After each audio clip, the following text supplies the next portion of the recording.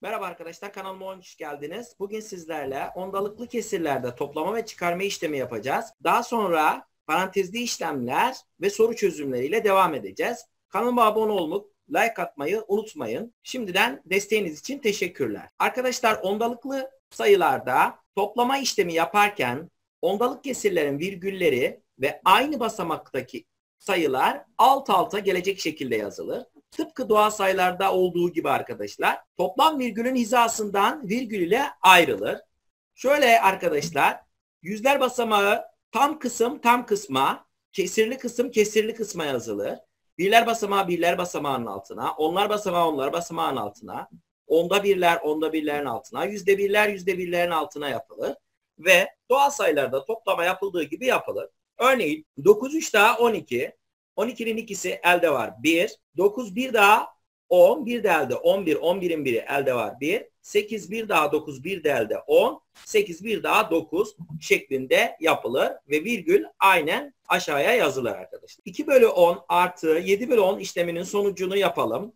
Arkadaşlar 2 bölü 10 artı 7 bölü 10 toplama işlemi yapılırken paylar toplanır para, paya yazılırdı. 2, 7 daha 9. Paydanın bir tanesi paydaya yazılırdı. 9 bölü 10 ondalıklı olarak 0 tam 10'da 9 şeklinde yazılır arkadaşlar. Diğer bir şekilde yapalım. 2 bölü 10'u 0,2 7 bölü 10'u 0,7 şeklinde yazarsak 2, 7 daha 9 0, 0 daha 0 virgül aşağı yazdığımızda 0 tam 10'da 9 şeklinde yapılır. İşleminin sonucunu bulalım arkadaşlar. Yazarken dikkat ediyoruz. Ondalıklı kısım ondalıklı kısma, tam kısım tam kısmın altına gelecek şekilde yazıyoruz. Virgüller de alt alta. Arkadaşlar 3 tamı 3,00 şeklinde yazabiliriz. O halde yapalım. 1, 9 daha 10, 10'un sıfırı elde var 1. Eldeyi buraya yazarsak 1, 2 daha 3, 3, 1 daha 4. 4 tam %30 şeklinde veya 4,3 şeklinde yazabiliriz. Şu şekilde de yapabiliriz arkadaşlar. Ondalıklı sayılarla ondalıklı sayıları toplarız. Daha sonra tam sayıyla toplayıp yapabiliriz. 1,21 ile 0,09 topladığımızda arkadaşlar 1,3 yapar. Tamlar toplanır, tama yazılır. 3, 1 daha 4. Ondalıklı sayı yazılır. 4,3 şeklinde yapılabilir arkadaşlar. 0 tam onda 8, 2 tam yüzde 56, 3 tam ondaki işleminin sonucunu yapalım. Yine arkadaşlar 0 tam 10'da 8'e buraya 0 ekleyebiliriz arkadaşlar. Değeri değişmez. 0 tam 10'da 8'e 0 tam %80 şeklinde de yazabiliriz. Yine tam kısımlar tam kısma, ondalıklı kısımlar ondalıklı kısma yazılırsa 6 aşağıya, 8, 5 daha 13, 2 daha 15, 15'in 5'i elde var 1. Buraya geldik. 1, 2 daha 3, 3 daha 6. 6 tam %56 buluruz. Şu iki ondalıklı sayıyı topladığımızda tam sayı yapacağı için 0,8 ile 3,2'yi topladığımızda 4.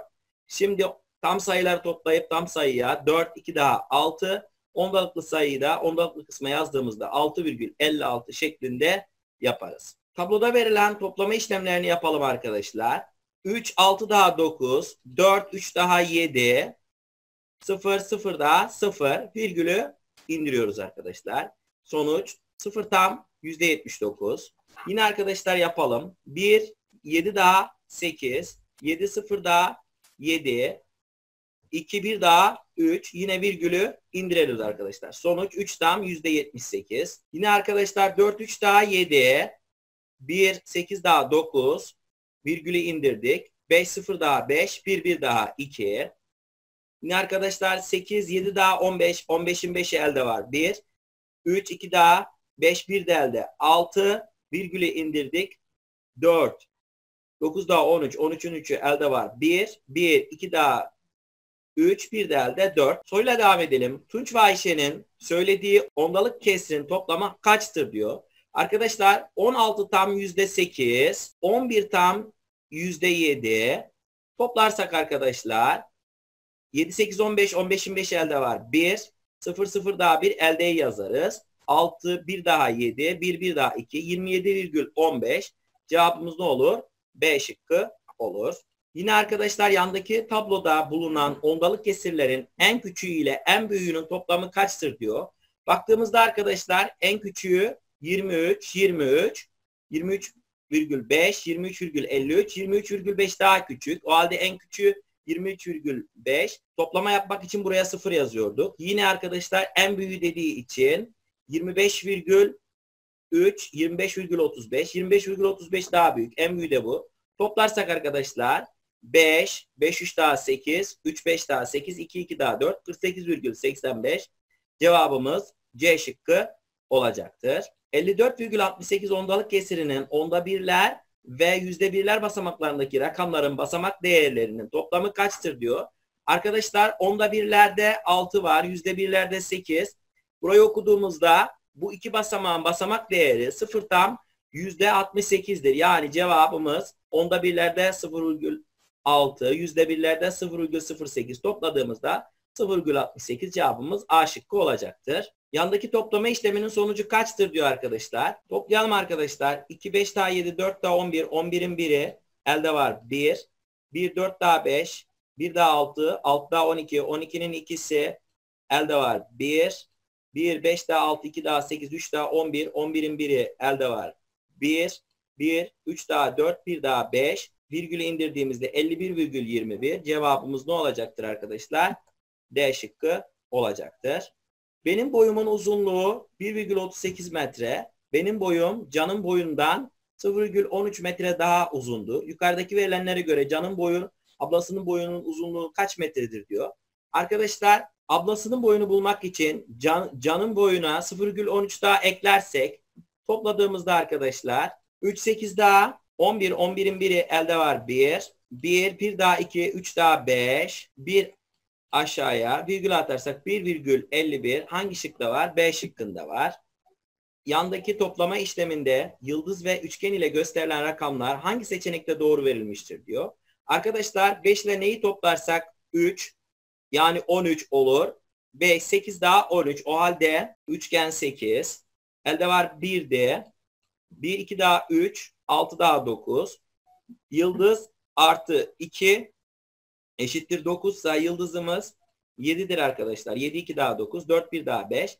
O halde yıldızımız 7, üçgenimiz 8 ise hangi şıkta var bu? D şıkkında var. Yukarıdaki ondalık kesirlerin en küçüğü ile en büyüğünün toplamı kaçtır? Baktığımızda arkadaşlar en küçüğü 9,72. En büyüğü 19,2. Bakın burada 0,2. Burada 2. Onda birlere bakıyoruz. Onda birler daha büyük olduğu için 19,2 daha büyük. En küçük 9,72. En büyük 19,20. Topladığımızda arkadaşlar 2, 9, 7, 2 daha 9.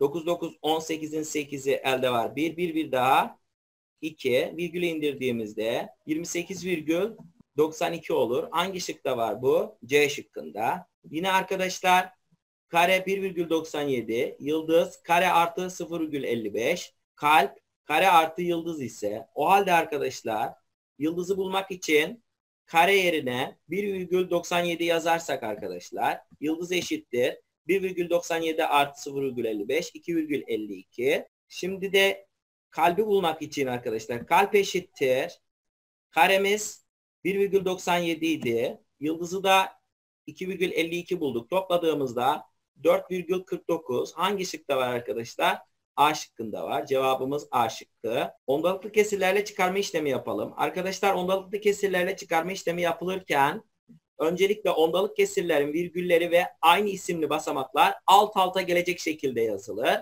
Tıpkı doğal sayılarda olduğu gibi çıkarılır.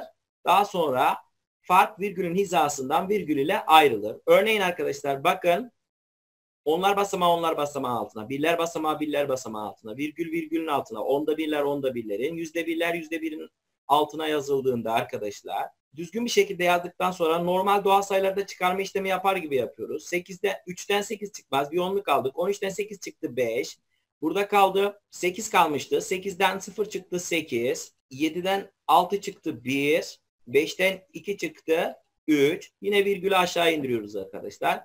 31 tam %85 buluruz. Yine arkadaşlar örnek 2 bölü 6 bölü 10 ile 2 bölü 10'un sonucunu yapacağım, yapalım. Çıkarma işlemi yapılırken arkadaşlar paylar çıkarılır paya yazılırdı. 6'dan 2 çıktı 4. Paydanın biri yazılırdı. 4 bölü 10. Onu nasıl ifade ederiz? 0 tam 10'da 4 şeklinde veya arkadaşlar 6 bölü 10'u 0,6, 2 bölü 10'u 0,2 yazdığımızda 6'dan 2 çıktı 4, 0'dan 0 çıktı 0, virgül indirdiğimizde 0,4 buluruz. Yine örnek yapalım arkadaşlar. 21,85 ile 7,9 işleminin sonucu kaçtır diyor. Arkadaşlar işlemi yaparken yine tam kısım tam kısma, ondalıklı kısım ondalıklı kısma yazılır. 7,9'u arkadaşlar 7,90 şeklinde yazdığımızda değeri değişmez. O halde 5'ten 0 çıktı 5, 8'den 9 çıkmaz, 18'den 9 çıktı 9. Burada kaldı 0. 0'dan 7 çıkmaz. Buradan bir onluk aldık. 10'dan 7 çıktı 3. Burada kaldı 1. Yani 13 tam %95 buluruz. Yine arkadaşlar unutmuyoruz işlem yaparken eksilen ya da farkın olmayan kesir basamakları yerine 0 yazılır. Şurada yazdığımız gibi arkadaşlar. İşleminin sonucu kaçtır? Arkadaşlar 15 tamdan 0,87 çıkaracağımız zaman 15 tam olmayan yerine 0 yazıyorduk. Sıfırlarımızı yazdık. Daha sonra normal çıkarma işlemi yazıyor, yapıyoruz arkadaşlar. Sıfırdan 7 çıkmaz. Buradan bir onluk alıyoruz. Yok komşuya gittik. Buradan aldık. Buradan buraya. Buradan da buraya. 10'dan 7 çıktı 3. Burada 9 kalmıştı arkadaşlar. 9'dan 8 çıktı 1. Burada 4 kalmıştı. 4 aşağıya 1 aşağıya 14,13 buluruz. Yine işlemi yaparsak arkadaşlar tam kısmı tam kısmın altına ondalıklı kısmı ondalıklı kısmın altına yazdığımızda sıfırdan 7 çıkmaz bir onluk bir aldık. Ondan 7 çıktı 3. Burada 7 kaldı. 7'den 6 çıktı 1. 5'ten 2 çıktı 3. 2'den 1 çıktı 1. 1 aşağıya. 113 tam %13 arkadaşlar. 5'ten 3 çıkarsa 2. 6'dan 0 çıktı 6. 9'dan 4 çıktı 5. Virgül aşağıya indiriyoruz. 7'den 1 çıktı 6. 8'den 6 çıktı 2. 2'den 8 çıkmaz. Buradan bir onluk aldık. 12'den 8 çıktı 4. Virgülü aşağıya indiriyoruz. 3'ten 2 çıktı 1. 0'dan 1 çıkmaz. Buradan bir onluk aldık. 10'dan 1 çıktı 9. Burada 5 kalmıştı. 5'ten 8 çıkmaz. 15'ten 8 çıktı 7. Burada 4 kalmıştı. 4'ten 1 çıkarsa 3. Virgül aşağıya indiriyoruz. 5'ten 3 çıktı 2. 2'den 4 çıkmaz. Buradan bir onluk aldık. 12'den 4 çıktı 8. Burada 7'den 4 çıktı 3. 3'ten 1 çıkarsa 2. Virgül aşağı indirsek 23 tam %82 buluruz. Parantezli işlemlerde arkadaşlar önce parantez içerisindeki işlemin sonucu bulunur.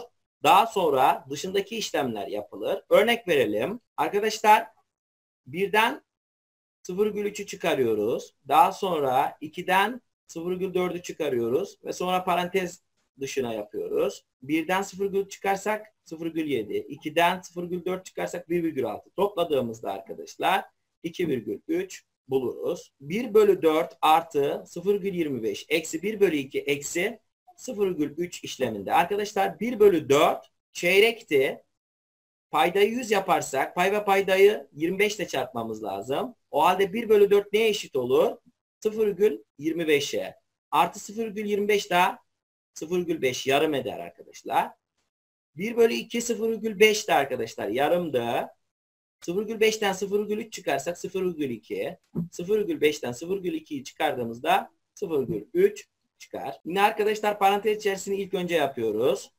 5,2 ile 4,6'yı topladığımızda 9,8 olur. Parantez dışından çıkardığımızda arkadaşlar 8'den 8 çıktı 0. 9'dan 2 çıktı 7. 7 tam bulunur arkadaşlar. Aşağıdaki işlemlerin sonucunu yapınız diyor. Yine arkadaşlar 1'den 0,5 yarımdı.